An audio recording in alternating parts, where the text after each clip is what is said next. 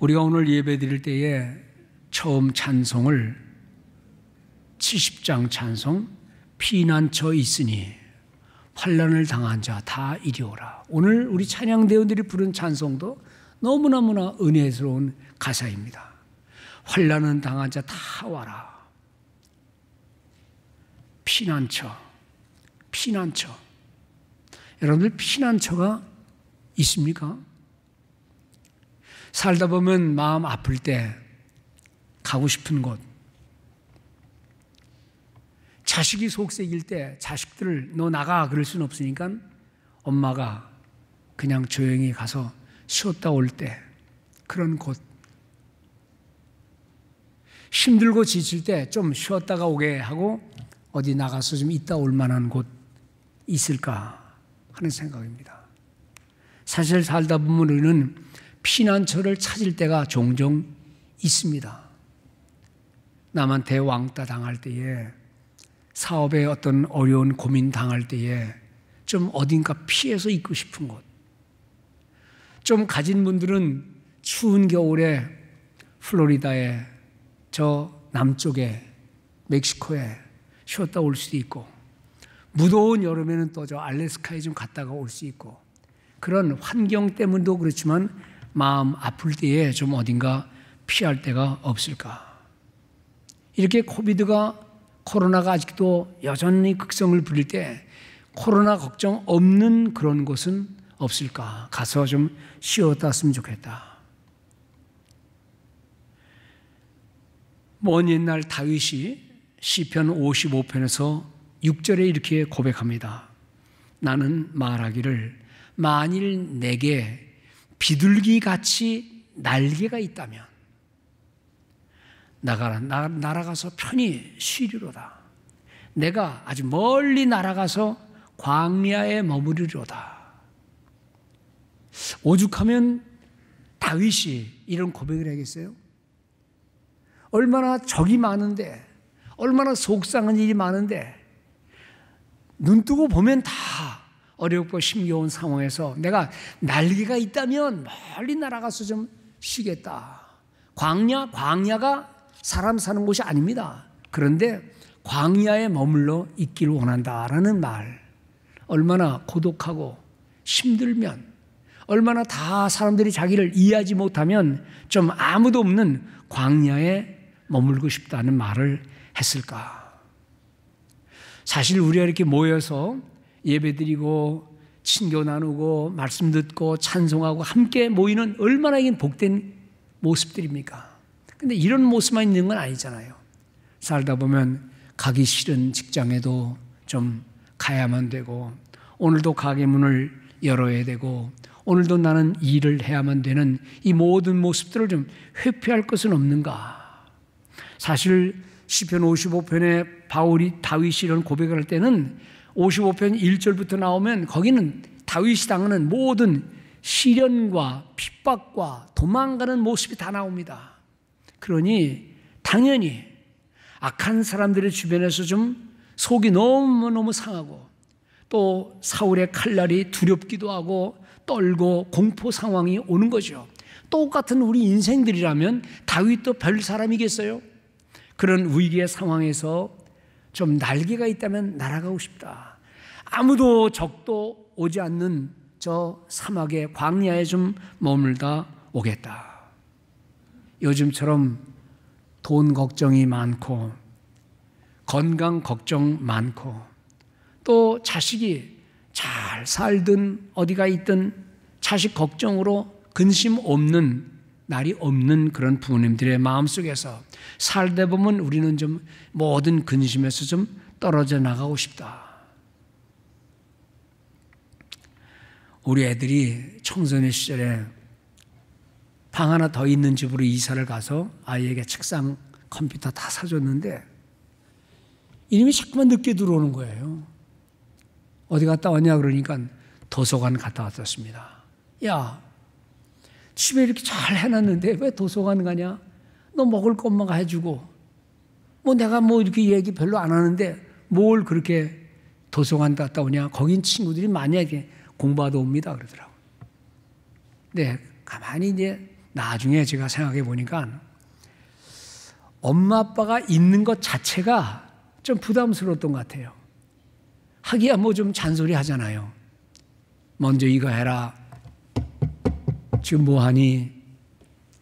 뭐 이런저런 나쁜 엄마나 아빠는 아닌데도 불구하고 엄마 아빠 있는 것 자체가 좀 아이들에게는 덜 자유스러웠는지 도서관 친구들 이렇게 하면서 빈빈 돌다가 밤중에 들어오더라고요.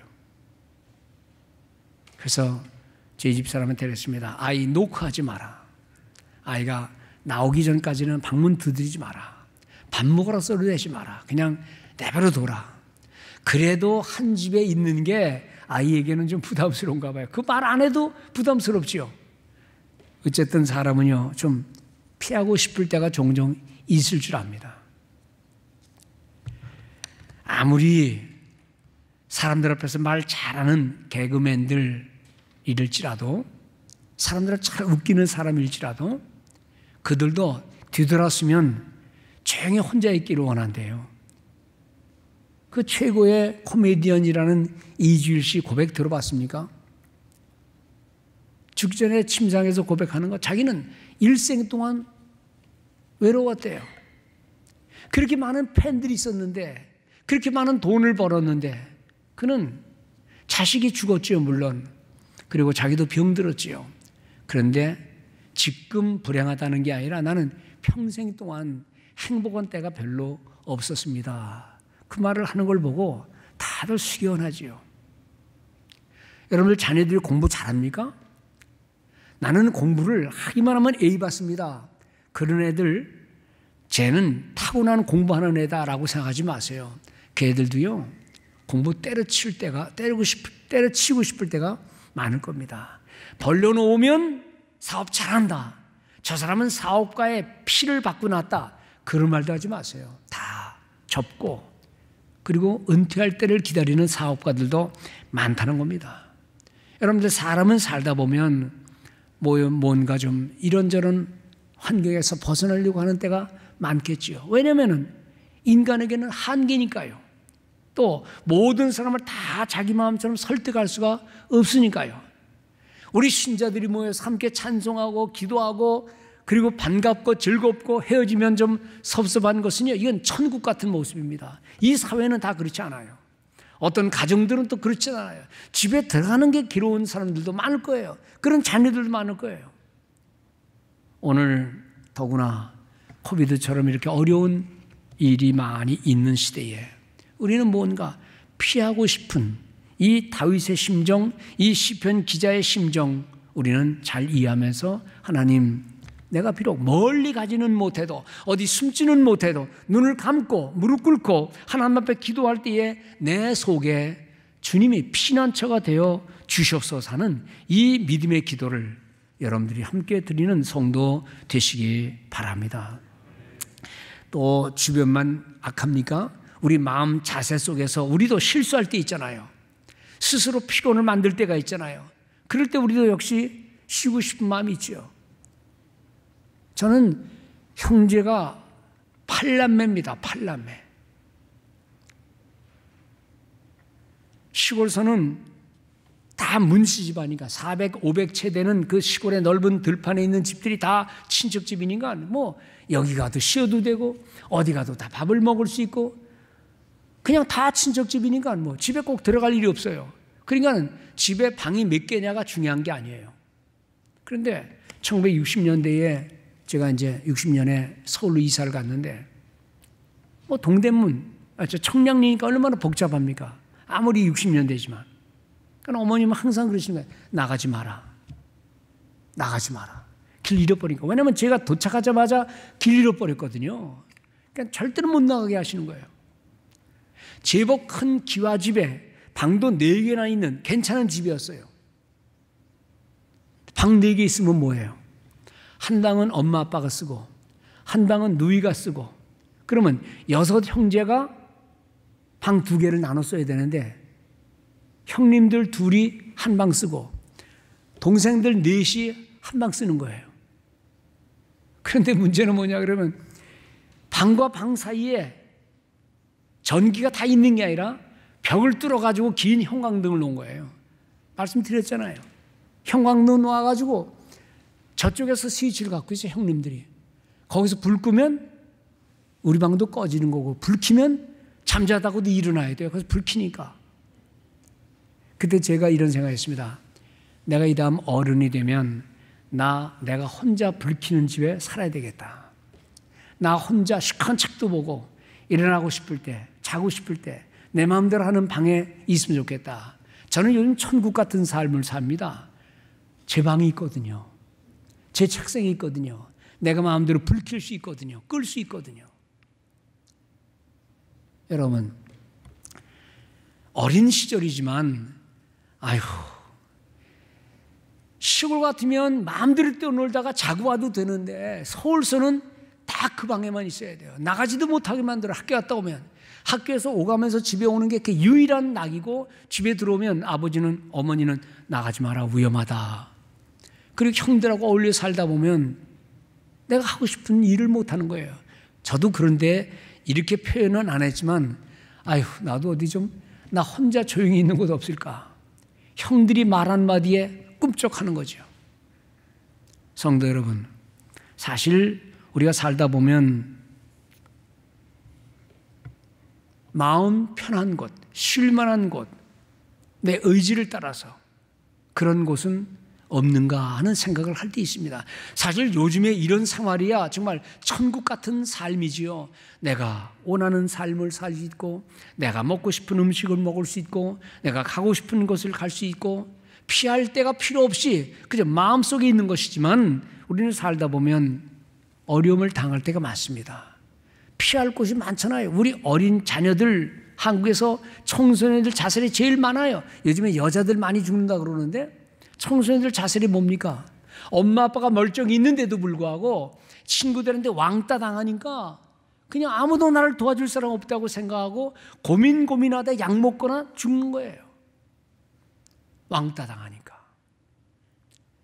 아름다운 공동체, 그 모든 모습들, 엄마, 아빠한테 얘기하면 다 해결될 일인데도 불구하고 괜히 혼자서 고독을 씹고 그리고 의지할 것 없는 것처럼 생각하는 그 어린 아이들의 모습처럼 오늘 우리 성도들은 비록 어려운 시대이긴 하지만 우리가 스스로 절망하지 말고 낙심하지 말고 오늘 우리 찬양대 부른 찬양처럼 절망 어두움 속에서 하나님을 찬양하는 그런 놀라운 은혜 있기를 진심으로 바랍니다. 시편을요 1편부터 자세히 쭉 보면 시편은 인생이 가질 수 있는 모든 장면과 상황을 다 대별하고 있어요. 인간이 당하는 억울한 모습들, 삶에서는 슬픈 이야기들, 배반당하는 것, 오해받는 이야기, 시련과 고통, 그리고 또 감격과 감사와 하나님을 찬양하는 모든 모습들이 다 어울려진 시편의 모습을 계속 읽다 보면 삶을 배워요. 인생을 배워요. 성령으로 기록된 시편의 모든 말씀들을 보면서 거기서는 인간의 사랑도 배반도 우정도 시련도 고통도 그리고 하나님 앞에 높이 들리는 찬양도 이 삶의 모든 고난들 과정들을 우리가 보면서 하나님 그들은 이러한 고난의 때에 뭘 했는가? 그들은 이 배반의 때에 무엇을 했는가? 그들은 감사의 과정에서 뭘 했는가? 하는 걸 보면서 여러분들 이 삶의 모든 과정을 통하여 그것을 하나님께로 나아가게 하는 계기를 만드는 여러분들 되시기 바랍니다.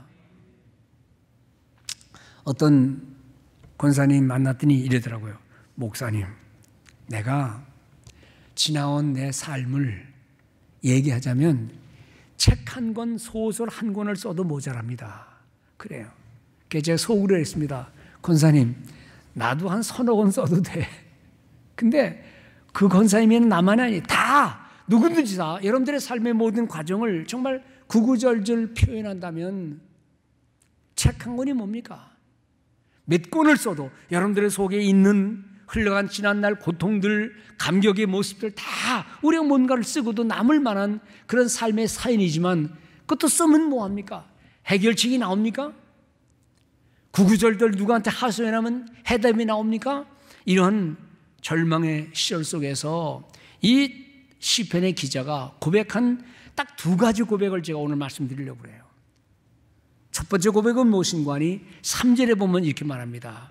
주는 내가 항상 피하여 숨을 바위가 되소서. 내가 항상 피하여 숨을 바위가 되소서. 하나님 보러 바위가 되달라는 거예요. 여러분들 이것은요, 이스라엘 지방을 이해하면 충분히 이해할 수 있는 말입니다. 여러분들 이스라엘 지방에 가는 그 모든 팔레스타인 땅, 그 예루살렘 성전, 거기 다 돌산이에요, 돌산. 그 돌산에는 산원 짐승들이 많이 있습니다. 약한 짐승들도 있습니다. 또 이 돌은 조금 큰 곤충이 벌레가 작은 벌레를 잡아먹을 때 사자나 호랑이나 늑대가 작은 짐승들을 잡아먹으려고 그럴 때 얼른 도망가서 숨는 곳이 어디냐? 바위 틈이에요. 거기는요, 크고 작은 짐승들, 도시 외의 모든 지역은 항상 약한 짐승들은요, 항상 바위 주변을 돕니다. 그래서 딱 나타나면 바위로 들어가는 거예요. 이 시편의 기자는 바위가 어떤 역할을 하는지를 알았을 거예요. 만일 다윗이라면 다윗은 언제든지 항상 도망가다가 사람을 피해도 그 사람이 신고하면 잡아 죽임을 당하지요. 누구 피할 데가 없어요. 그래서 다윗은 외롭게 돌판을 돌아다니다가 사울 임금이 보낸 군대를 피하여 아둘람 굴에도 숨었고요. 굴에 숨어서 그의 목숨을 부지한 걸 압니다. 그렇기 때문에 지금 같으면 큰 콘크리트 집이다, 지하 창고다라고 말할지 모르지만 그때에는 피할 곳은 뭐냐? 바위밖에 없어요. 그래서 다윗은 말하기를 내가 항상 피하여 숨을 바위가 되어 주십시오. Be my rock of refuge. rock of refuge. 바위 돌 되어 주십시오. Where I can always go. 내가 항상 어딘지 언제든지 갈 수 있는 이 바위가 되어 주시옵소서. 삶의 고난과 어려움 있을 때에 숨을 곳. 여러분들 다람쥐가 놓을 때 항상 어디서 놉니까? 넓은 들판에서 안 놉니다. 항상 높은 나무가 있는 그 주변에서 놀다가 개가 짐승이 달려오면 나무 위로 올라갑니다. 지혜롭지요. 성도 여러분, 여러분들의 삶에 어떤 고난과 어려움이 있을 때에 피할 곳이 있습니까? 바위처럼 숨을 수 있는, 우리가 기도할 수 있는, 그리고 우리 몸을, 우리 마음을 놓을 수 있는 그런 바위덩 덩어리 같은 예수 그리스도의 은혜, 그 하나님의 은혜 속에 머무는 우리 모든 성도들 되시기 바랍니다. 그래서 1절 보면 내가 죽게 피하오니, 죽게 피하오니. 또 그 다음 계속 나옵니다. 이 피한다는 말은 도망가는 어떤 수동적인 자세가 아닙니다. 그것은 어떤 위기에도 하나님을 신뢰하는 믿음의 표현이라는 사실을 잊지 마시기 바랍니다. 요즘처럼 좀 어려운 시절이 많은 시간들, 세월들, 때로는 사람이 사람을 의지해서 피해야 되긴 되겠지요. 그러나 사람의 의지도 한계일 수밖에 없다는 겁니다. 요즘 몸이 아프셔서 이런저런 치료를 받으시는 분들이 계세요. 그래서 아프다 하면 첫째 징조는 교회를 안 나오는 거예요. 오라는 의사, 만나자는 의사는 즐거운 만나지만 하나님을 만나는 일에는 인색한 거예요. 여러분들, 약과 의사 선생님을 피할 수는 없어요. 그러나 인간의 한계를 반드시 알아야 합니다. 약도 의사도 의술도 다 좋은 것이지만은 사실 정말 피하여 숨을 영원한 단석이신 주님을 의지하는 성도들 되시기 바랍니다. 가끔 성도님들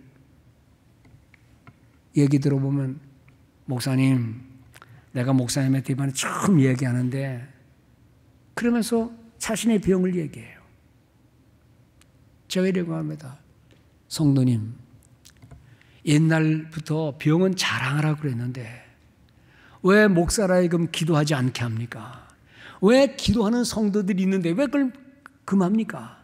어떤 성도는 어떤 병자를 위해 금식도 하는 걸 내가 알고 있는데 그래서 주보에 누가 아프다 그러면 금식도 하는데 왜 기도의 힘을 믿지 않습니까? 식구들이 말하지 말라 그랬다. 남편이 말하지 말라 그랬다. 여러분들 우리 주님은 우리의 피난처이십니다. 그렇게 해서 전폭적으로 기도한다면 다행이지만 하나님을 신뢰하는 믿음의 성도들의 의지가 어디에 있어야 할 것인가? 약이요, 주사요, 수술이요, 다 필요하지요. 저는 원래 의사가 되려다가 목사 된 사람이니까 제가 의술에 관심이 많습니다. 그리고 의사들과 많은 성경 공부를 했습니다. 그 사람들에게 제가 늘 하는 얘기, 서양 의술만 믿지 마라. 동양 의술을 무시하지 마라. 그리고 늘 그 책을 주면 그 사람들이 그 읽으면서요 깜짝깜짝 놀랍니다 사실 지금도 제가 한국에 나가기만 하면 제가 동의보감해서 책들을 몇 개 추려서 누구 줍니다 읽어보라고 의사들한테 거기요 의술에 대한 얘기 나옵니다 거기도 칼로 째는 거 다 나옵니다 그런데 거기 나오는 내용을 가만히 읽다 보면 의술은 맨 마지막에 하는 거예요 제일 중요한 건 뭐냐 심술 그럽니다 심술 마음을 고치라는 거예요. 마음을 고쳐라. 두려움, 걱정, 근심하지 말라는 거예요. 우리 미국 이 기독교식으로 말하면 성령의 은혜를 받아라 이 말입니다. 그런데 그 옛날 사람들은 성령의 은혜를 몰랐으니 마음가짐을 먼저 고쳐라. 두 번째는 식술 그럽니다. 식술. 음식으로 고치는 겁니다. 거기는 말하기를 음식으로 못 고치는 병은 못 고친다는 거예요. 평생 동안 음식 그렇게 먹고 온 몸이 그렇게 됐는데 한 군데 잘라낸다고 한 군데 비워낸다고 가능합니까? 아니에요. 그래서 긴 세월 동안 그렇게 먹어서 걸린 병은 긴 시간을 갖고 얼른 식술해라. 그래서 식사를 바꾸라는 거예요. 그 다음 얘기는 활술입니다. 생활합니다. 생활 태도를 바꾸라는 거예요. 그런 건 안 바꾸고 가서 잘라내면 그 후유증이 없습니까? 그암 치료 없습니까? 항암 치료 없습니까? 그리고 다 살아납니까? 지금 제가 뭐 의사가 아니기 때문에 이런 말 함부로 할 수는 없습니다만은 오늘 인간의 연약한 모습 앞에서 의술로 다 고친다, 잘라내고 비워내면 다 고친다. 그렇게 해서 살은 사람이 있습니까? 그래서 장수한 사람이 있습니까? 순간적으로는 치유됐다고 말할지 모르고 100명이면 의사 100명 중에 잘 됐습니다. 다 그렇게 말하지. 아이고 문제가 많습니다. 그래서 하나도 없어요. 속지 마세요. 의사 얘기를 하는 게 아니라 병원 얘기하는 게 아니라 우리가 신뢰할 분을 신뢰하고 벽을 만났을 때 먼저 마음을 주님께로 향하고 그리고는 음식을 바꾸고 생활 태도를 바꾼 다음 그래도 안 되면 의술 가라 이렇게 말해요. 이게 순서입니다. 성도 여러분, 사실 삶은 꼭 병 문제 아니라 여러 가지 많은 모습에서 위기를 당할 때가 많아요. 붙잡고 의지하고 싶은 게 많지만 여러분들 뭐를 붙잡느냐? 특히 그리스도인들에게 우리가 하나님을 믿는 믿음의 사람들에게 삶의 위기 있을 때 오늘 우리 찬양 부른 대로 정말 주님 앞에 나가는 이 모습들 얼마나 복인지 모릅니다. 홍수가 났습니다. 모든 게 다 떠내려갑니다. 근데 보니까 큰 통나무가 따라 내려와요.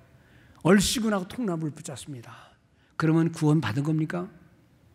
잠깐 동안은 유효할지 몰라요. 그러나 통나무는 떠내려갑니다. 같이 떠내려가는 거예요.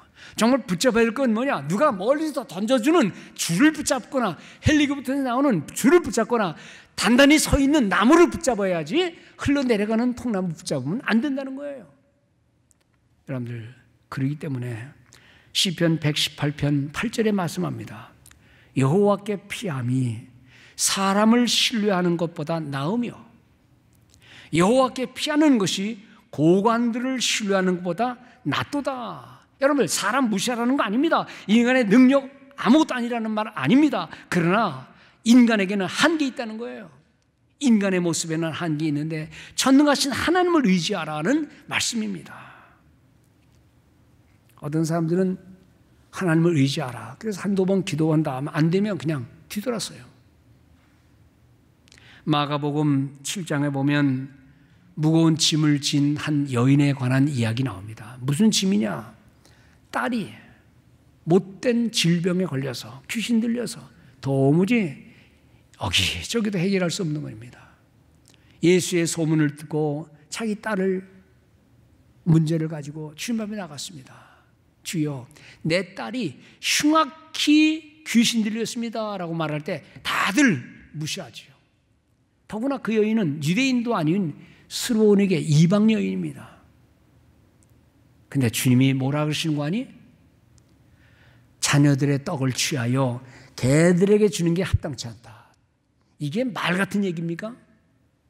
예수님답지 않은 전혀 전의 말씀과는 전혀 관계없는 산상수훈에서는 얼마나 기도하라 그랬고 따라오라 그랬고 주님 제자들을 데리고 다니면서 온갖 질병 다 고쳤는데 그 여인 앞에서 하는 말씀이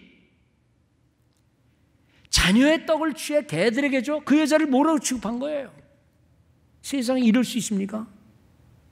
이런 멸시와 천대 앞에서 주여 올소이다마는 올소이다마는 개들도 주인 상에서 떨어지는 부스러기를 먹을 수 있습니다.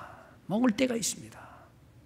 이 말씀을 듣고 떠나라, 가라, 잔소리 하지 마라. 그러지 않으셨어요. 여인아, 네 믿음이 정말 크구나. 성도 여러분, 사람을 믿지 말라는 거 아니에요. 의지하지 말라는 거 아니에요. 의술을 무시하지 말라는 건 아니에요. 무시하라는 건 아니에요. 그러나 여러분들 우리 인간의 한계 앞에서 전능하신 하나님 앞에 나가는 하나님 고하는 반석 대신 주님 앞에 나가는 우리 모든 성도들 되시기를 주의 이름으로 축원합니다. 신명기 민수기 이런 데 보면 참 백성들이 집을 짓고 도시를 만들고 사는데 특이한 집 하나가 만들어집니다. 그건 어떤 집인고 하니 소위 도피성이라고 도망가는 장소 하나 있는 거예요. 그 도피성은 여섯 그큰 지방 속에 가장 사람들이 제일 가까이 있는 뛰어가면 숨을 수 있는 곳이 있어요. 그 도피성이에요. 도피성. 누가 거기 들어갑니까? 삶의 오해, 죽음의 범죄, 저지른 사람인데 그것은 모르고 저지른 죄, 의도하지 않은 죽음. 사람들은 결론만 이야기하고 전 살인죄다 그러지만은 그 동기가 무엇이냐. 예를 든 게 신명기엔 그래요. 어떤 사람이 도끼를 들고 벌목하러 산에 갔다 그러죠? 사람들이 많이 모인 자리에서 도끼를 나무를 자르는데 도끼 날이 빠져서 옆에 있는 사람 머리 맞아서 죽었다 치자. 그럴 때 의도하지 않은 unintentionally 의도하지 않은 채 죽음 그 사람은 살인죄에 해당되지 않는다. 그런 사람은 얼른 도망가서 어디로 가요? 도피성으로 들어가 숨어 있는 거예요. 아무도 못 들어갑니다. 거기서 있는데 언제 나오느냐? 그 해의 제사장이 대제사장이 죽으면 그때는 나온다. 여러분 이상하지 않습니까? 자기가 허물이 있는데 왜 대제사장이 대신 죽어야만 나오는 겁니까? 10에서 10장에 나오죠. 우리에게 있는 대제사장은 우리의 허물을 다 용서하시는 분이고 그분만 바라보고 나가자. 여러분들 구약 시대지만은 예수 그리스도의 속죄의 사역을 이미 예표하고 있는 말씀이에요. 구약에 있는 사람들은 정확히 의미를 몰랐겠지만 그런데도 자비감이 있는데 우리는 이제 환히 보는 예수 그리스도 우리의 죄를 용서하시고 우리를 대신하여 사시는 그 주님 그 주님을 의지하라는 말씀 속에서 주님은 우리 인생의 도피처가 되신다는 것입니다. 사람에게 하소연하는 것도 한계가 있습니다. 오해를 풀려고 말하다 보면 또 오해가 생깁니다. 인간의 말도 이해도 한계 있지만 눈을 감고 하나님 앞에 기도하면서 고난이 있을 때에 절망이 있을 때에 다 나를 이해하지 못할 때에 이 세상을 원망하지 말고 주님께로 가서 우리의 모든 사연을 아뢰면서 우리의 삶을 주님과 동행하는 성도들 되셔야 될 줄 믿습니다. 성도 여러분, 그래서 주님께서 말씀하시죠. 수고하고 무거운 짐진 자들아 다 내게로 오라. 내가 너희를 쉬게 하리라. 근심, 걱정 때문에 요즘 돈 때문에 건강 때문에 자식 때문에 이런저런 모든 사연들이 많을 때 여러분 너무 근심하지 마세요. 걱정도 하지 마세요. 생각은 할지언정 고민하지 말고 하나님께 가까이 하면서 하나님 앞에 기도하면서 이 모든 과정을 인내하며 나가는 우리 모든 성도 되시기를 바랍니다. 오늘 설교 끝난 후에 부를 찬송 543장입니다. 이 찬송의 제목은 뭐예요? 어려운 일을 당할 때에 나의 믿음은 적으나 의지하는 내 주를 더욱 의지합니다. 밝을 때는 노래와 어두울 때는 기도와 힘겨울 때는 주님을 의지하는 믿음을 가지고 나가는 우리 모든 성도들 되시기를 바랍니다. 주님께서 우리의 모든 기도를 들으시고 우리의 삶을 다 받아주시는 그 주님 앞에 우리의 사연을 다 아뢰면서 인내할 때에 또 응답받을 때에 하나님 앞에서의 믿음을 따라 사는 좋은 신앙의 훈련의 계기를 삼는 우리 모든 성도들 되시기 바랍니다. 우리 멕시코에 가면 제가 늘 가면 꼭 한 시간 정도 이제 우리 참포동에서 짐 풀고 한 며칠 있다가 가면 저 산골짜기에 있는 동네 하나 또 있어요. 한 시간 정도 나가면 마야 떼꿍이라는 동네에 있는데 그 동네는 산골짜기에 있는 산 중턱에 있는 동네입니다. 근데 거기는 멕시코 사람이 사는 게 아니라 저 가난한 지진도 있고 내전이 있는 과테말라에서 피난 온 사람들이에요. 원래 거기는 다 그냥 야산이고 거기도 지금도 다 바위 덩어리입니다. 그런데 그 촉박한 곳에 일구고 사는 한 명, 두 명 오기 시작해서 지금은 수십 명이 살아요. 그 마야떼궁에서 있는 사람들이 물건을 땅콩을 물건 재배해 가지고 저 참포동 우리 그 동네도 우리 동네도 지은 동네지만 어쨌든 거기가 크니까 그래도 거기 가서 물건을 쫙 놓고 팝니다. 그 얘기하다가 이제 알게 된 동네 사람들이에요. 그래서 우리가 늘 가서 사택도 지어주고 교육도 해주고 뭐 선물도 주고 그 목회자 사택 없다 그랬어 그것도 우리가 지어주고 이렇게 하면서 이제 늘 갔는데 이번에는 가지를 못했어요. 시간이 안 돼서. 근데 거기 있는 과테말라 사람들 그 사람들이 그 사람들인데 그 사람들이 보면 금방 안 돼요. 저 멕시코다, 저 과테말라다. 근데 제가 그 마을을 가만히 볼 때마다 그런 생각이 들어요. 참 멕시코 뭐 부자다가 아니고 가난한 나라도 아니지만은 참 착한 사람들이다. 왜냐면은 거기다 참 보통 지역인데 참 보통 경찰이 가서 다 부시고 때려 부시고 네 나라 돌아가라. 그럴 수도 있었어요. 나라에서 전기 공급 안 해주면 그만이에요. 그런데 그 난민들이 오니까 거기다 도로 만들어 줬지요. 비록 약한 전기지만 전기 깔아 줬지요. 또 학교도 세워서 학교도 만들어 주고 교회당은 자기들이 지어서 하나님을 잘 믿는 믿음의 사람들이에요. 성도 여러분, 사실 우리가 살면서 가정에서 엄마 아빠가 아휴 자식들 피해서 좀 도망갔으면 좋겠다. 자녀들은 아 엄마 아빠 없는 데 좀 갔으면 좋겠다. 빨리 대학 들어가고 얼른 시집 장가 가가지고 이제 엄마 아빠 잔소리 안 들어야지. 그런 경우도 있을 수 있고 또 직장 가기 싫어서 어디 도망갈 데 없을까 그런 마음도 갖고 이게 개인도 사회도 국가도 마찬가지예요. 멕시코가 그냥 그들을 밀어버리고 여긴 우리 땅이 늘 가라. 그러면 그만이지만 그 우리 참포돈에 있는 산골에 있는 사람들도 적지 않은 사람이 난민들이에요.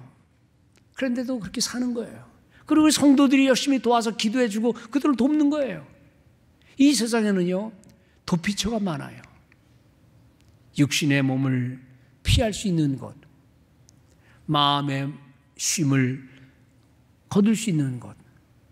비록 민족은 다르고 혈통은 달라도 쉴 곳을 제공해주는 이 착한 민족들을 보면서 하나님이 우리 모든 성도들에게 그들뿐만 아니라 우리들에게도 현대 미국은 그럼 완전한 행복의 나라냐? 아니 여기도 역시 우리는 도피처가 필요해요. 성도들 마음속에 도피처가 필요한데 고달픈 인생들 하나님 중심으로 살면서 하나님을 중심으로 살아가는 성도들 되시기를 바랍니다. 먼 곳에는 못 가도 주님 앞에 나와서 교회가 그 역할을 하는 것이고 우리 성도들이 그런 역할을 하는 것이고 이 고달픈 세상에서 하나님의 품 안에서 늘 위로받는 우리 모든 성도들 되시기를 바랍니다. 그래서 이사야 55장 1절에 보면 그런 말이죠. 오호라 너의 모든 목마른 자들아 물로 나와라. 돈 없는 자도 와라. 너희는 와서 사 먹되 돈 없이 값 없이 포도주와 젖을 사라. 너희는 귀를 기울이고 내게 나와 들으라. 그리하면 너희 영혼이 살리라. 오늘 주님 앞에 나온 우리 성도님들 근심 걱정 없는 사람 없겠지만은 그러나 위로 받으시기 바랍니다. 하나님을 여러분들의 피난처로 삼는 우리 모든 성도들 든든한 반석이 되는 축복이 있기를 주의 이름으로 축원드립니다. 이제 시간이 다 돼서 이제 마지막 한 가지만 더 간단히 말씀드립니다. 여러분 우리의 주님을 의지하는 삶 속에 이 세상을 원망하고 불평하지 말고 오늘 6절 마지막에 그럽니다. 나는 항상 주를 찬송하리이다.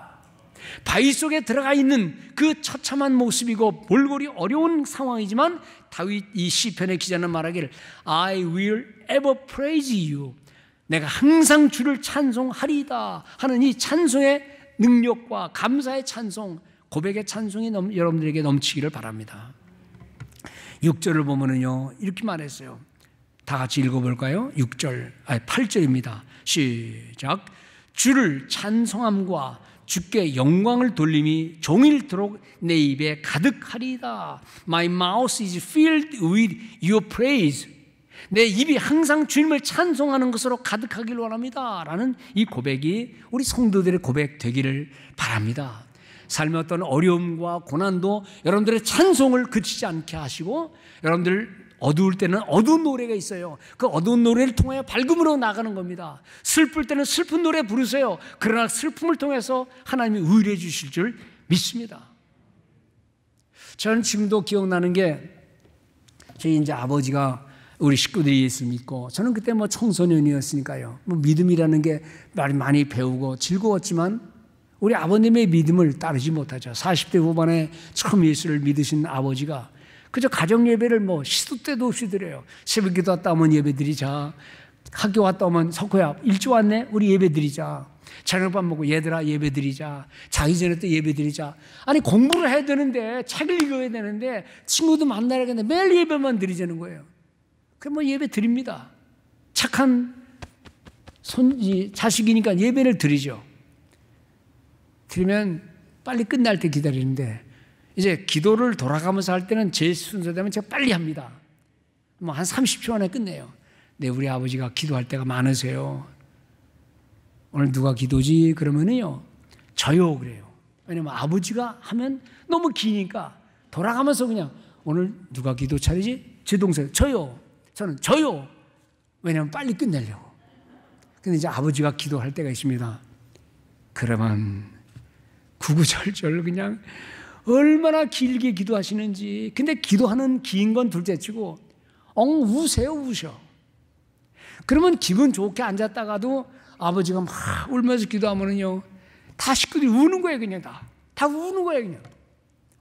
왜? 왜 우는지도 몰라. 아버지가 우니까. 내 아버지 생각이 그런 것 같아요. 야, 내가 50 거의 달 때까지 하나님을 모르고 니들한테 하나님 말씀을 안 가르친 게 허물이 많고 하나님도 모르고 돈 벌고 하나님 모르고 세상 가고 그거 그냥 구구절절 다 얘기를 하세요. 그때야 뭐 제 귀에 그거 안 들어옵니다. 아버지가 왜 우시나? 뭐가 저렇게 서러우신가? 근데 이제 문제는 기도가 끝나면 기도 끝나면 상황이 완전 바뀝니다. 그때 부르는 찬송 82장에 지금은 95장입니다. 나의 기쁨, 나의 소망. 와. 근데 좀 길어요. 이게 5절까지 있어요. 그러면 따라합니다. 나의 진정 사모하는 예수님 음성조차도 반갑고 나의 참 생명과 나의 참 소망은 오직 주 예수뿐일세. 성도 여러분, 찬송. 기쁠 때만 찬송하는 거 아닙니다. 슬플 때도 찬송하고, 맞아요. 형통할 때만 찬송 안 합니다. 속상할 때도 찬송하고 그 찬송이 소망과 함께 어우러져서 오늘 본문에는 소망과 찬송에는 같이 나옵니다. 오늘 8절에 보면은요. 주를 찬송함과 주께 영광 돌림이 종일토록 내 입에 가득하리이다. 14절에 보세요. 나는 항상 소망을 품고 주를 더욱 더욱 찬송하리이다. 소망을 품고 찬송은 그냥 하는 게 아니에요. 찬송의 그 모든 응답이 기도로 나올 때에 그 찬송은 소망이 된다 이 말씀입니다. 오늘 우리 성가대원들 아름다운 찬송 불렀는데 그 악보 좀 절 하나 주세요. 아 너무너무 아름다운 찬송이에요. 여러분들 여기서만 물론 끝나는 게 아니겠죠? 여러분들 가정에서 찬송하시겠죠? 그걸 남한테 소개하세요. 여러분들 팀원들한테 서로 나누세요. 우리의 가진 능력은 없어요. 그러나 입술로 기도하고 마음과 입술로 찬송하는 이 놀라운 은혜를 받으면서 이 어려운 시기를 이겨내는 우리 성도들 되시기를 바랍니다. 그런데 한 수를 더 떠요. 찬송 아무리 오래 하면요. 진짜 오래 하면 힘들어요. 힘겨워요. 목도 아파요. 그런데 보세요. 22절에 나의 하나님이여 내가 비파로 주를 찬양하며 내가 또 비파로 주를 찬양하며 목소리 하는 것이 한계적이기 때문에 악기를 가지고 주님을 찬송한다. 주의 성실을 찬양하리이다. 성도 여러분, 찬송, 기도. 이 어렵고 힘겨울 때에 지금 찬송이 나옵니까? 기도할 여유가 있습니까? 아니요. 그것이 바로 우리의 힘과 능력임을 믿고 나가는 우리 성도들 되시기 바랍니다.